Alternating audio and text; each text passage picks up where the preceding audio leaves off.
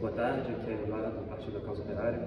Eu venho dar uma declaração de apoio aqui ao companheiro João Jorge é, contra a perseguição que os bolsonaristas e o sionismo vêm aí praticando e fizeram agora especificamente contra o companheiro João Jorge, mas que levanta essa perseguição contra todo o partido. É, a gente não vai aceitar nenhum tipo de intimidação.